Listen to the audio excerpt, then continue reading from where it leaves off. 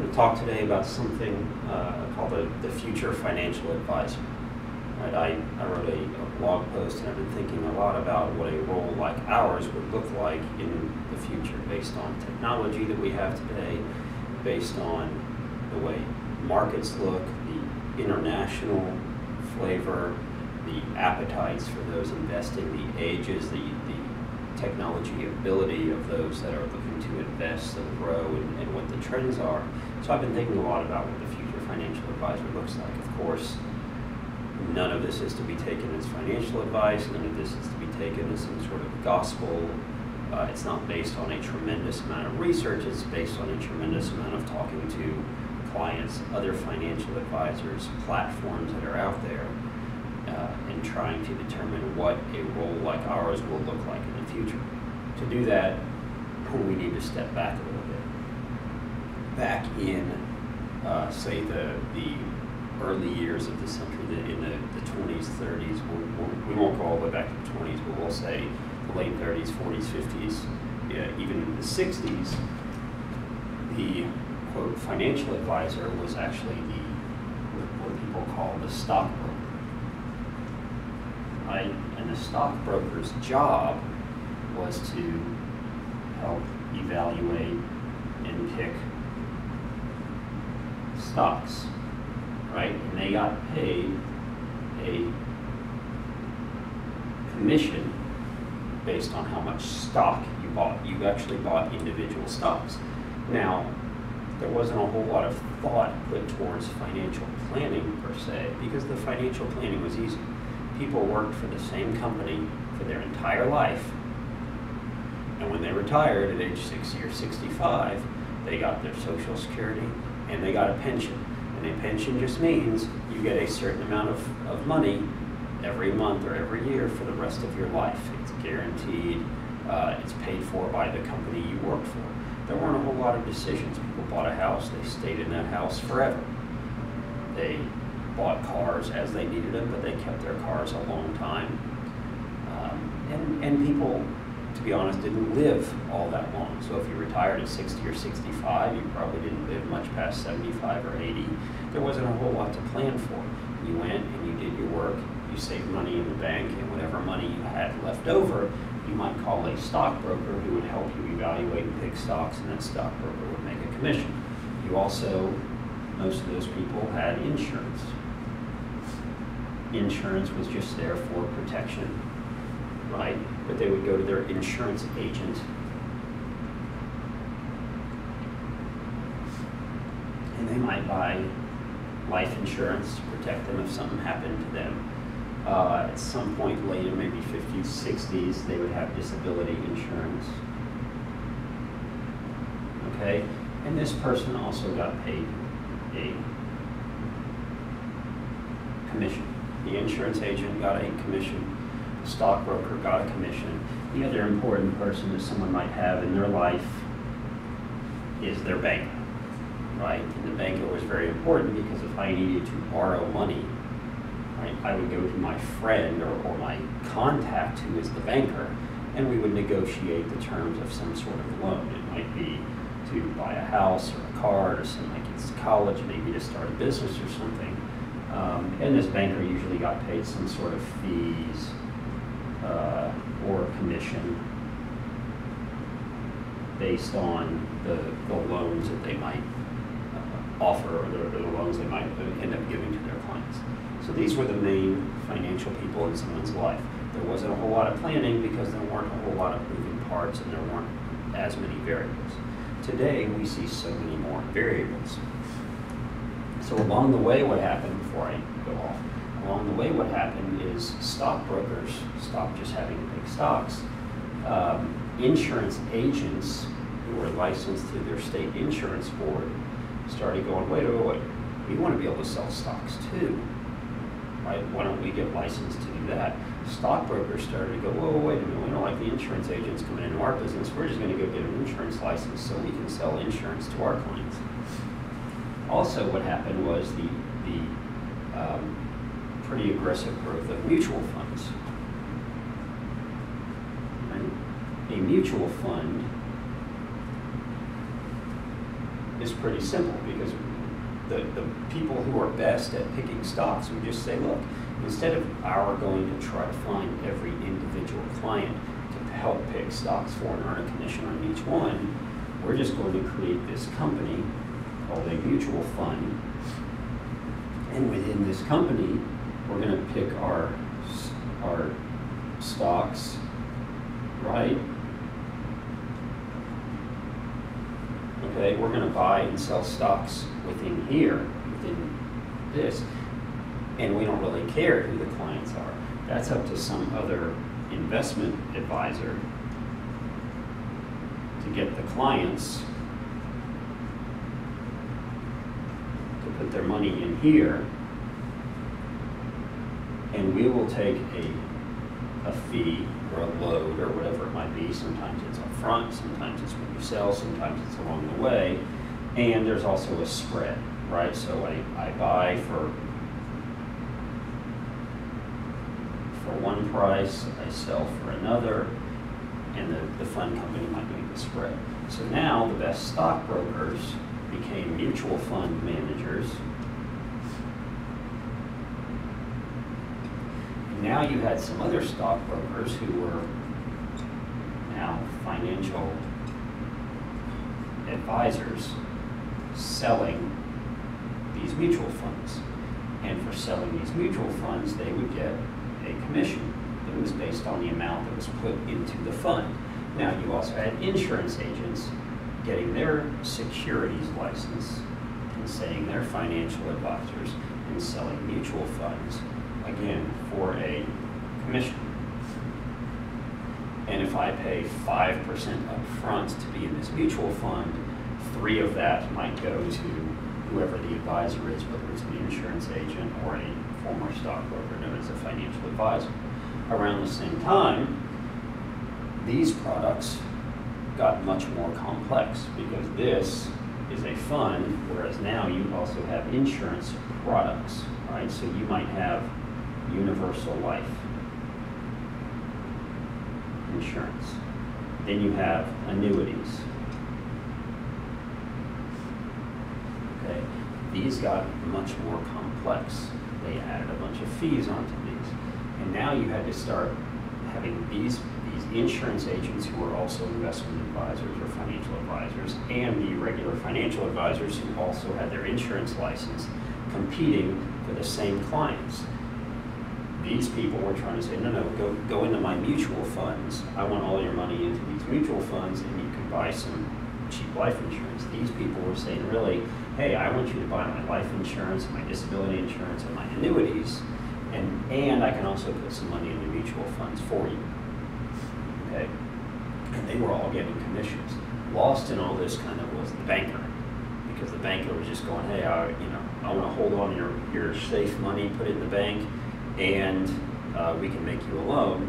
By the way, we also have certificates of deposit, and then banks started offering insurance. Banks started offering investment services. Everything got very muddled up. Everyone is making different fees and commissions, and what's left is the client isn't quite sure what the best advice is, what they should really do for their financial life. All they know is they have all these different tools, and if their friend or their agent happens to be more of an insurance agent who happens to have a securities license, they're probably going to end up with more insurance products and some mutual funds. If their financial advisor happens to be more of an investment person, they're going to end up with more mutual funds and a little bit of insurance. Uh, if they happen to get their financial advice from someone at the bank, they're going to end up probably putting some money into CDs and, and into the bank, maybe getting a loan, and they might buy some mutual funds and some insurance. There was no way to really figure out what the best way was. Um, and, and everything got very confusing. On top of that, people started actually changing jobs at some point where they didn't work for the same company for their whole life. Uh, people started living longer they started working longer. So this got all messed up. And so you had um, what, what I feel was one of the first breaks uh, in, in all that structure, in the mid 80s, when you went from people investing in the uh, in, in their pension at their off at, at their company to 401k. And, and I can go into this more in the lesson, but what happened was with the pension plan, if I worked for a certain for, for a company, right? If I worked for Exxon, I was going to work there for my whole life, and Exxon said, "We'll take care of you when you retire at age 65. We will give you a certain amount of money every month for the rest of your life." And it was Exxon's job to manage this pension fund such that all the employees who turned age 65 and lived were getting X money per month. The problem was the employees said, well, wait a minute, this is really conservative the way you manage this. When they started getting insight into how this was managed, they said, this is way too conservative for us. We can do better. And, and at the same time, there, there were new ERISA laws. ERISA is the, is the Department of Labor law that governs really 401k. And there were new laws out there, and, and employees said, we want to manage our own retirement funds. We want to control how much goes in, we want to control how it's invested. Um, and employers said, have at it. We don't want to manage these pension funds anymore. This is a pain for us, it's a lot of stress, it's a lot of calculation. You guys complain about it all the time. Here you go. You can manage your own. So now the employees put their money into the 401k. They get to choose where it's allocated. And then when they retire, they get to take their money out. Okay? So what you have, one is you have people all of a sudden that decided we can do this better than these companies and these pensions can. Uh, what we've seen from the 80s till now is individuals actually do a horrible job of managing this. They have much less money and much less prepared for retirement than they used to be. Okay, individuals are just not very good at this. What that speaks to is their behavior. Um, what we've also found is now there's a need for more financial advice because what you have is people having a choice. Because now, one, they're changing jobs a lot more often. They might be moving from one house to another, so now I have my paycheck. And in the past, all I knew was my paycheck. Some of them went, some of it went into the bank, some went into expenses, some went into uh, some sort of growth, some went into some sort of protection, right? So this is insurance, this is safe money sitting in the bank. This is, I gotta pay my bills, right? My house, my cars, my you know, kids' college and stuff. And this goes to, man, I'd like to put some money in the stock market or something that'll grow or whatever the hot tip of the day is, right? Now what we see is my paycheck. How much is going to go into my 401k? Can I even invest in my 401k? And that goes to do I have a match? Uh, what are my investment options? Um, how much is going to go to pay for my home? Do I do a 30 or a 15 year? What interest rate should I get? Should I lock that in? Should I refinance? Okay, and then we have how much do I put towards college education for my kids? How much do I put towards the, the markets? Right? And you need a lot more advice because all these have different tax implications, right? This has different tax implications. These are different buckets of money. How much do I put towards protection, right? Now, there's all sorts of different insurance options available.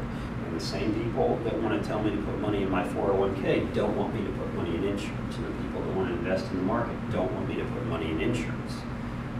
Okay, so now there's a problem with the advice. How do I choose what's best for me? Well, there's a whole bunch of people out there now who serve a bunch of different purposes. So there is the insurance agent who is also a financial advisor, okay, that might work for a broker dealer. And all that means is they can sell insurance products, they can sell funds. Uh, if they have a Series 7, they can sell individual equities in different securities, okay? For this, they're going to get a commission. For this, they're going to get a commission. For this, they're probably going to get a commission. Now, you also have the pure, you know, financial advisor who probably also can sell insurance, okay? They're going to do the same thing. They're going to put you into funds or equities, maybe some alternatives like real estate funds, oil and gas, things like that. And they might get a commission here, a commission here, a commission here, right? Now, these people and these people might also say, we're going to give you financial planning. We're going to help you figure out how much you should put in here and in here. And on top of that, how much you should spend on your home, how much you should put into your 401k, how much you should put into college savings, how much you should put into liquid money or a safety account. Okay? We're going to do all that for you, but of course, it's laced with the idea that I'm going to get a commission based on what I tell you to do. Okay? Now, at this time, you also have what's called the RIA, Registered Investment Advisor. Okay, a registered investment advisor is actually not a person, it's a firm. Within the RIA, you have IARs because we like to use the same letters over and over and over again. This is an independent advisor representative. Okay, I have an RIA, my partner and I. I am an IAR of my RIA. So RIAs only work for fees. They cannot get commissions for anything that they sell. And what they do is they say, we're going to take your money and we're going to invest it in a some sort of portfolio that we'll manage for you, right? And that portfolio might involve uh, mutual funds, ETFs, alternatives, individual equities. They might go to a different money manager that they outsource to, who is much like the old mutual fund managers. Now they're money managers and they take a fee. And their fee is usually called an AUM, or Assets Under Management. Okay. So that means that if you have $100,000 and they're taking a 1% AUM, you are paying $1,000 per year, right? So if you invest $100,000 at 1%, you're paying $1,000 a year to this RIA. And that, and that means that if this hundred thousand dollars, and this is what they'll tell you, this is what I'll tell you, if that hundred thousand dollars goes up to hundred and ten thousand dollars, right, I make more money. Well, don't you want me to be happy when your account goes up? Of course you do. So you and I are on the same side of the table. So it seems like the RIA is the best way to go. Now, RIAs will also offer financial planning. And usually they'll do it as part of their fee. They'll say, look, if you come to me, you know, minimum half a million dollars to invest, so I make $5,000 a year, I'll also give you financial planning. So I'll tell you how much you should put into your home, your 401k, your college, your liquid money. Okay? But let's be honest here.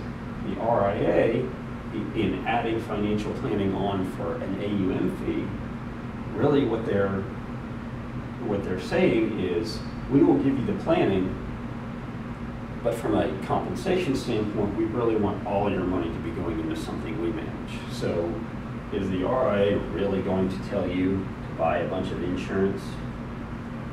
From a compensation standpoint, probably not, because it hurts them.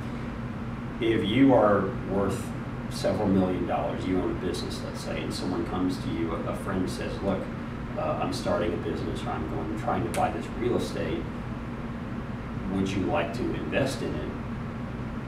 And you come to me, and I'm the RIA with the AUM fee, and you go, hey, my friend needs $250,000 to invest in this real estate. I think it's a great deal. What do you think, Adam? And I might go, okay, it might be a great deal. However, I know that that $250,000 is probably coming out of the money I manage, and therefore that's $2,500 more that I'm not going to make next year. So as a financial planner, I might think it's a great idea, but as an RIA who has to make fees, I kind of don't want you to do it. So is my fee aligned with my duty? My duty here is what's called a fiduciary duty, a fiduciary obligation. These people have a suitability obligation. The difference here is fiduciary means I'm required uh, by the law to do what is in your best interest. They don't really define what is in your best interest. That's up to us to define, but I'm required to do what's in your best interest. Whatever I advise you to do has to be that. Suitability means I'm required to put you into investments or products that are suitable for you. They might not be the best, but they're, they're not scams. They're not going to take your money. Um, I'm not, I, if I were to take a 70 year old's money and put it into some sort of product that they couldn't get out for 10 years, that is not suitable. A 70 year old might need their money. Um, but if I were to take a 30 year old and put their money into something, their retirement money into something that locks it up for 10 or 20 years, that's perfectly suitable because they might not need that money until retirement. That's suitability. It doesn't mean it's the best thing for them, it just means it's suitable. These people are under a suitability standard, these are under a fiduciary standard. Now it gets even more crazy when you realize that you can be a financial advisor working for a broker dealer, and that broker dealer can also have an IRA, so I can actually do both. I can put you into a fee-based plan, and I can sell you products for a commission at the same time. And you don't know who I am. And in all of that, am I even giving you the best financial advice based on your current situation? So that's the background, and that will get us to um, what does the financial advisor of the future actually look like.